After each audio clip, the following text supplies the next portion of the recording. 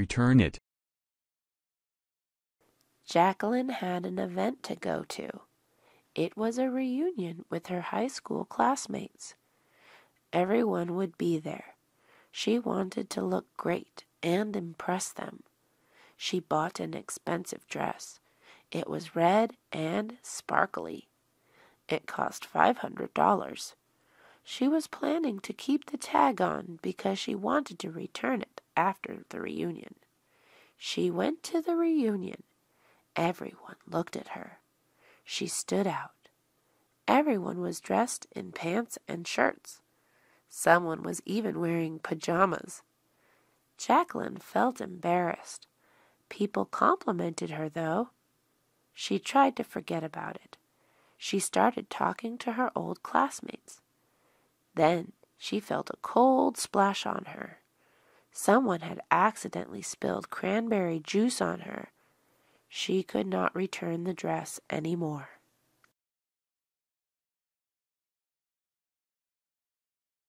Borrowing books and movies. Kaylin went to the library. She needed to get books for her project on Barack Obama. She found his biography. It was a heavy book with a lot of information. She flipped through the pages. There were some nice pictures of Obama. The book seemed helpful. She put it in her basket. She found the movie section. She decided to check it out. She could borrow a movie for three days for free. It would cost three dollars to borrow a movie for seven days. She picked a movie about a girl with diabetes. She put it in her basket. She checked out the book and the movie. Trying new things. Shirley is a very picky eater. She does not eat anything with cheese. She does not like chicken or pork. She does not like trying new things. One day, Shirley went to her friend's house. Her friend's dad made them a Cambodian dish. Shirley was used to eating American food. I can't eat this, Shirley said to her friend. You have to. My dad made it for you, she said. Shirley felt bad. She grabbed her fork. She slowly stuck it into the food. She ate slowly. It was surprisingly good. She finished her food in five minutes. Wow, I will get you another plate, her friend's dad said.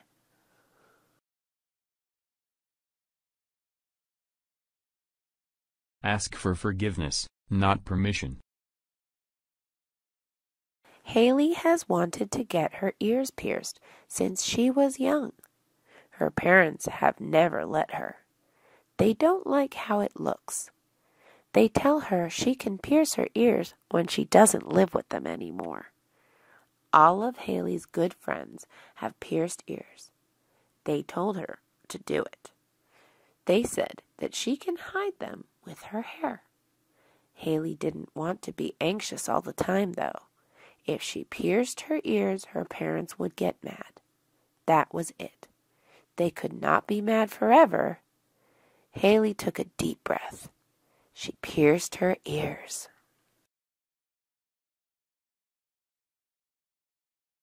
Chocolate is too sweet. Susie likes to eat chocolate. She really likes chocolate with caramel. Her mom gives her a chocolate bar. Susie is happy. She bites the bar.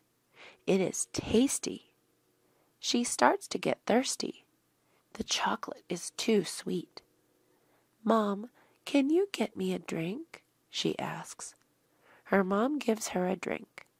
Susie drinks it. It is chocolate milk. Too sweet, Susie yells. You never said what kind of drink you wanted, her mom says. Susie gets up from her seat. She grabs a water bottle. She drinks a lot of water. Much better, she says. She continues eating the chocolate.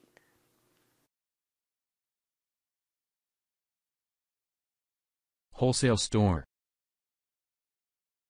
Maya likes to save money. She likes wholesale stores better than markets. Wholesale stores sell things in large quantities for a lower price. They have things like a gallon of mustard. A regular market only sells a bottle of mustard. Maya wants to buy apples, ketchup, and chips. The apples come in a pack which has 20 apples. The pack costs $6. That means each apple is only 30 cents. At the market, each apple costs 40 cents. Maya's husband does not like wholesale stores. He gets tired of things easily. He would rather buy fewer apples for a higher price. Maya, we can't finish 20 apples before they go bad, her husband said. Of course we can, Maya said.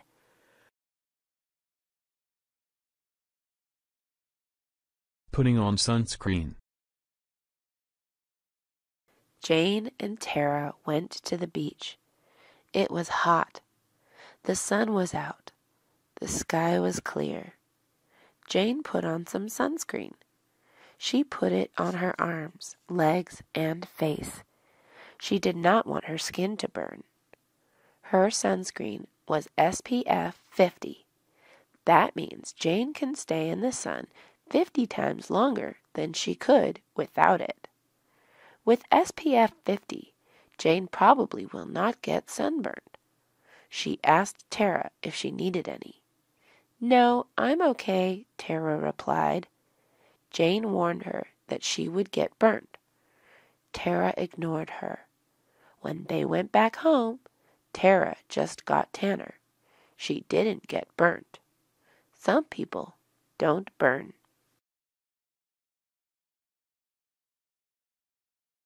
She doesn't want anything. Donna's birthday was coming up. Her friends asked her what she wanted. Donna said to get her nothing. She did not want to owe them anything. Her parents asked her what she wanted. Donna told them not to get her anything. Are you sure? her mom asked. Donna said yes. Donna's parents and friends did not believe her. They thought she was just being modest. They got her presents, anyways. Donna's mom gave her a diamond bracelet. Her dad gave her flowers. Her friends threw her a surprise party. Donna said thank you. Donna was a little disappointed, though. She did not have much fun at her surprise party.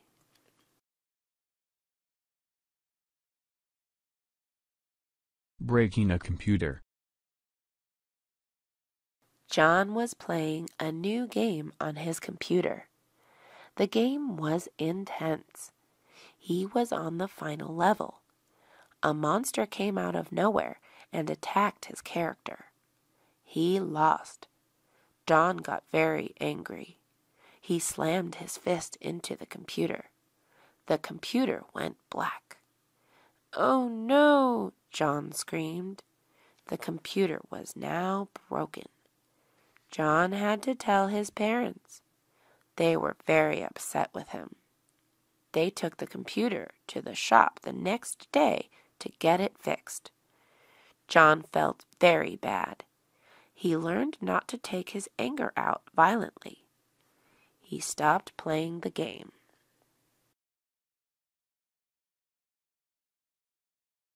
Seeing an eye doctor. Samantha could not see clearly what the teacher wrote on the board. She told her mom about it. Her mom told her it was time to get her eyes examined and get new glasses. She went to her eye doctor. After waiting for her name to be called, she saw the doctor. The eye doctor tested her eyes out. Samantha picked out a frame. She tried the new glasses and saw perfectly. The new glasses were ready for her to pick up. She was excited. The next day in class, she was able to see everything clearly. Samantha now remembers to check her eyes every year.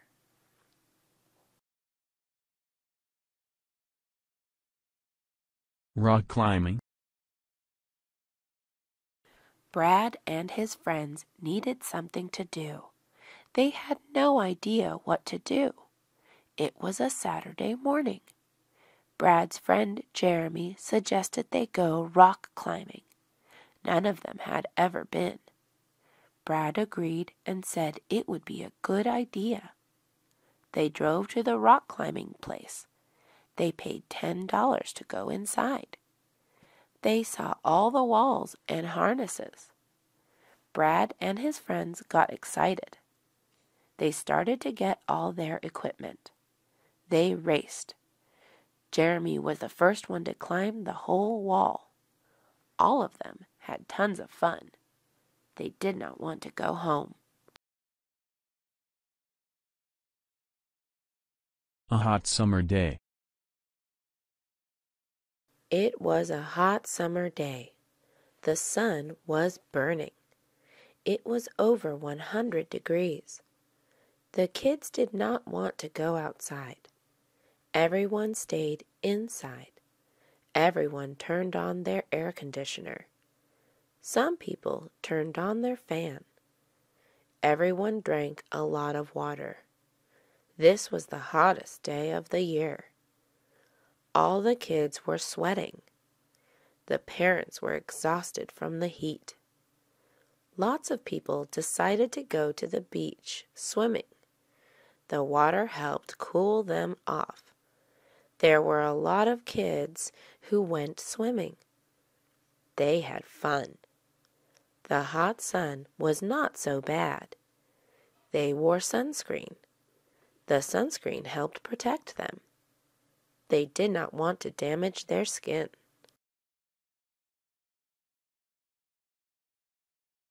Working at the ice cream shop. Sarah worked in an ice cream shop.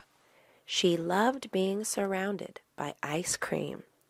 Every day she got to see smiles. She loved serving children and their families. She loved putting smiles on people's faces. She also got to have free ice cream. She made sure not to eat too much. Too much ice cream is not healthy. She had ice cream once a week. Her favorite flavor was chocolate. The most popular flavor was vanilla. The store had 20 different flavors.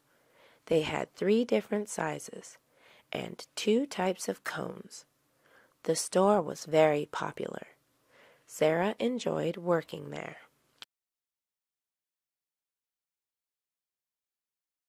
A blackout. It was a normal day. Suddenly, all the lights went out. It was a blackout. Sam looked out his window. The lights were out on the whole street. He went to get candles. He lit up the candles. The blackout lasted for several hours. He had a paper due tomorrow. He had to write it out tonight. He used the candle. His parents found some flashlights to help. The blackout was not so bad. Sam got to see how life was without electricity. He finished his paper much faster than he would have with the distractions of technology. A new car. Tom had an old car. He had the same car for 20 years. One day, his car broke down. He could no longer drive it. He decided it was time for a new car. He went car shopping. He brought his brother along. He asked the dealer to show him around. Tom was looking for something affordable and dependable. He wanted a medium sized car. He wanted a car with four doors and five seats. He spent hours looking at cars. he finally decided on one. Now he had to figure out the price. The dealer gave him a good price. Tom went home with his brother in his new car.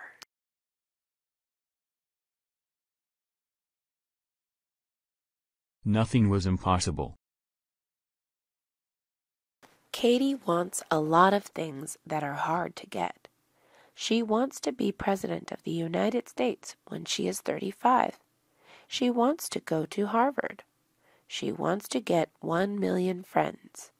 She wants to have 10 more siblings. She wants to be a belly dancer.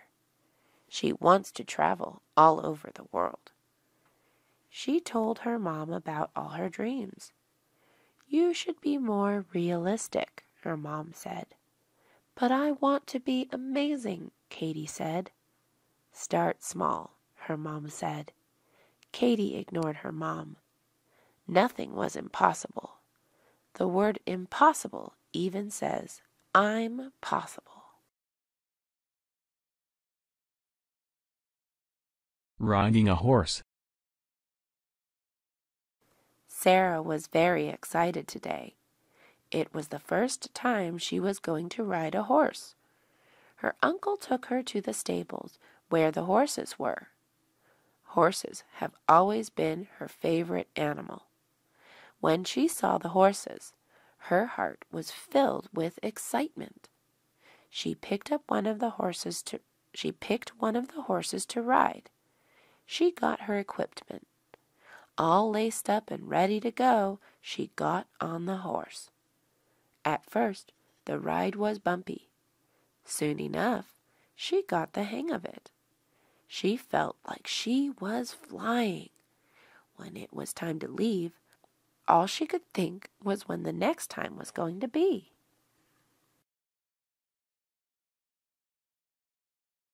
Shopping at the market.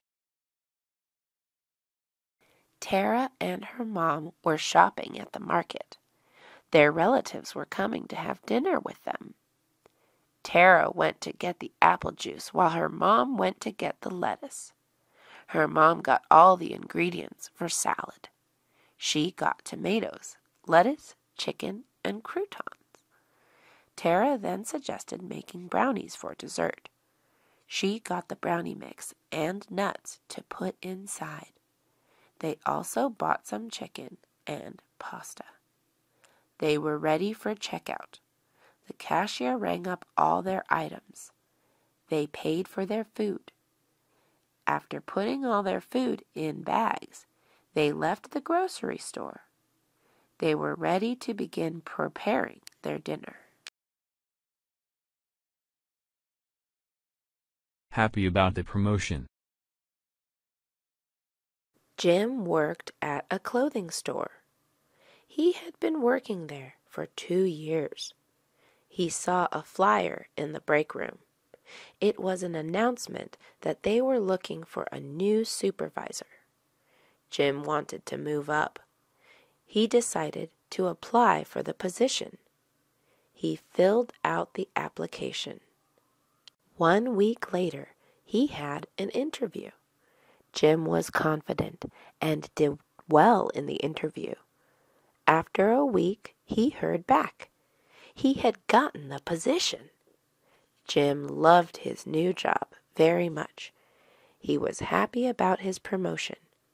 He began to think of ways to help the store.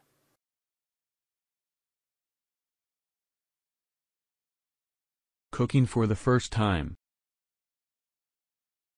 Sam never knew how to cook. She was going to be living by herself. She decided it was time to learn. She bought books on how to cook. She also watched videos online. She decided to start simple. The first thing she decided to learn was pasta. The first thing she did was to boil hot water to cook the pasta. She then made the sauce for fresh tomatoes. She added pepper and chilies to add more flavor. She also added cheese. After it was done, she ate it. She was excited to eat what she made. It did not taste that good. It was not horrible, though. She decided that she needed more practice.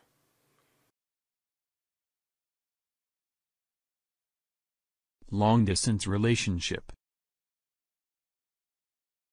Arthur and Betty used to go to the same high school.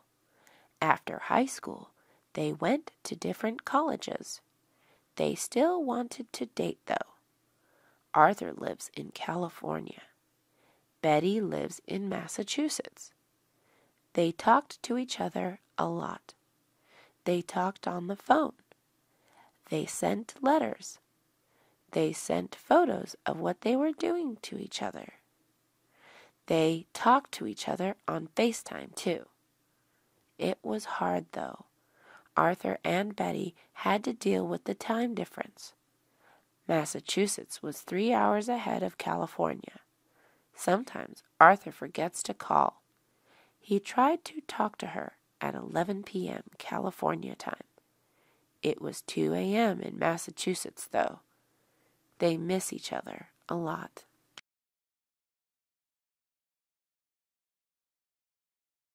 Buying a new couch. The Johnsons' couch was very old. They had already had it in the family for over twenty years. The couch had stains from their lunches and dinners. It was ripped by their cat. The couch also had a strange odor coming from it. It was time for a new one. They went to a furniture store. They saw all types of couches. They saw long ones, short ones, leather ones, and fabric ones. They all decided to pick a black leather couch that could seat four people. They had the couch delivered to their house. The Johnsons were very happy. The whole family sat on their new couch and watched TV together.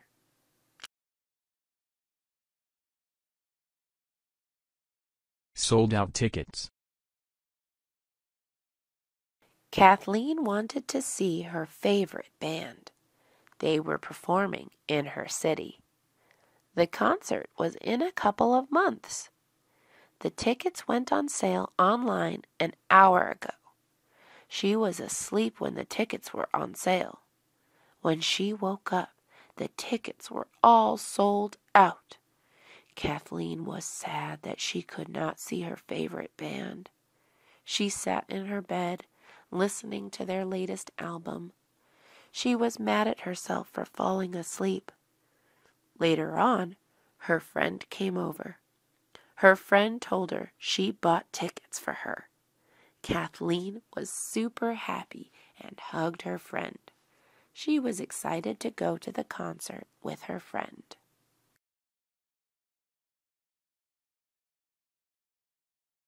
A perfect day for hiking. Sol and Victor decided to go hiking. Today was a perfect day for hiking. The weather was a cool 70 degrees. The hike was three miles up and three miles down. They brought plenty of water for their hike. Sol brought his dog on the hike also. They hiked upwards. At the top there was a waterfall. They admired the view. It was beautiful. When they were done, they hiked back down. After the hike, Sol and Victor were tired.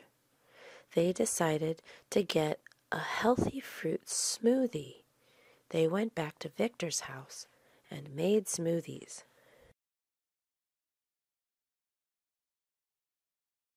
Lifeguard duty. Emily was a lifeguard at the local pool. Her job was to make sure the kids were safe. She had to watch the pool. She had to save kids if they were to drown. Emily had to know how to swim well. She also had to know CPR. She had to make sure she was always watching. She had to be aware of everything. She also had to be good with kids.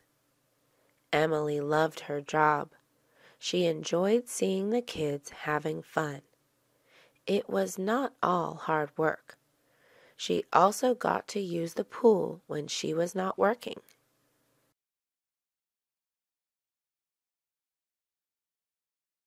Snow cones. It was the last day of the summer day camp. It was hot, almost a hundred degrees. The counselors needed a way to cool off the kids. After talking, the counselors decided to give out snow cones. The snow cones would be made out of ice and syrup. There were different flavors strawberry, blueberry, and raspberry. Some kids got one flavor. Some kids mixed them together.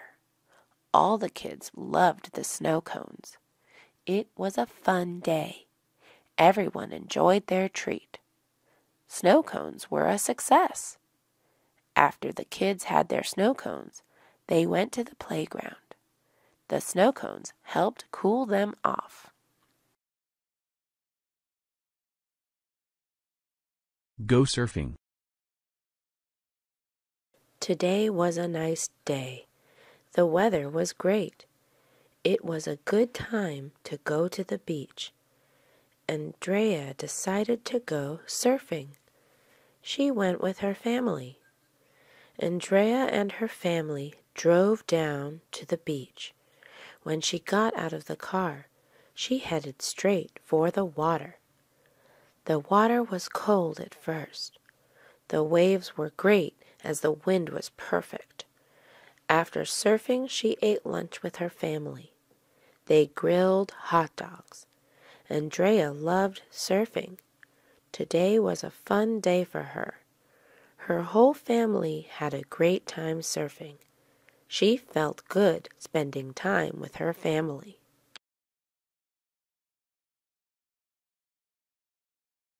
The lottery. Josh won the lottery. He is now a millionaire. He couldn't believe it. He could buy so many things now.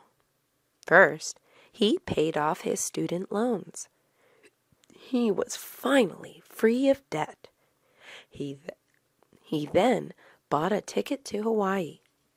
He also bought tickets for his best friends. They all went to Hawaii together. They didn't worry about the money when they were there. Josh stayed in the nicest hotel. He ate the fanciest food. He flew back home first class. He had about $800,000 left. He decided to put it all in his bank account. He didn't want to go too crazy.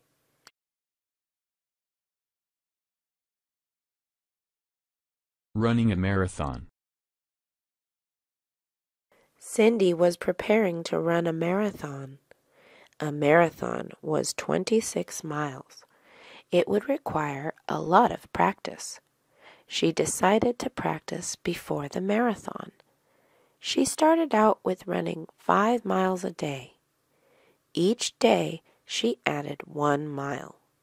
Soon she was running 26 miles. She was ready now. She prepared for the day. She ate healthily. She had cereal in the morning. She had a salad for lunch. She had chicken and rice for dinner. She also ate protein bars. The 26 miles would take a lot of energy. On the day of the marathon, she wore comfortable running shoes she made sure to wear athletic clothes. Learning to dance. Everyone had to perform a dance. It was for the performance next Friday. The performance was called Dance for Arthritis. It was to raise money. Each ticket was five dollars. The money would be donated to help treat arthritis. Joey wanted to help. He did not know how to dance, though. He was afraid of embarrassing himself. He decided to watch videos. He tried to teach himself. He could not do it. He finally decided to ask his friend. His friend was an expert on dancing. He taught him different dance moves. After they practiced, Joey was ready. He was excited to help the cause. Pizza Palace. It was Claire's birthday. She decided to have it at a pizza place. She chose Pizza Palace. Pizza was her favorite food. The party was also pizza themed. She wore a shirt that said Pizza Queen. Her favorite type of pizza was Hawaiian. She loved pineapples on her pizza. Along with food, Pizza Palace also had an arcade. They had many games. They had air hockey, basketball, and even Dance Dance Revolution. Claire was so excited. This was the best day ever. She loved spending time with her friends. Claire had a fun time. She could not wait for her next birthday. Her dog was missing. Kara came home from work. She looked for her dog. She could not find him. He was missing. She looked all over. She called his name. He was gone. She decided to ask her neighbors. They had not seen her dog. She walked all around her neighborhood. She had no luck. She decided to make signs. She put up information about her dog. She also put up a picture of her dog. She gathered her friends and family to help put up signs. A couple hours later, she received a phone call. Someone found her dog. She was so happy. She was glad he was safe.